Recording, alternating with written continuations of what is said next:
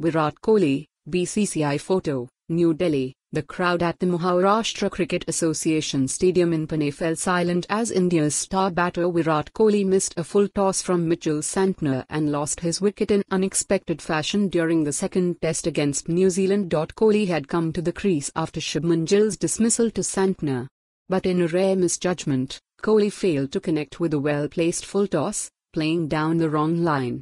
The ball slipped under his bat and crashed into the stumps leaving Kohli visibly shocked and in disbelief at his dismissal. As he made his way back to the pavilion, Kohli's frustration was evident, clearly disappointed with the way his innings had ended. Watch in the opening test in Bengaluru, he had scored 0 and 70.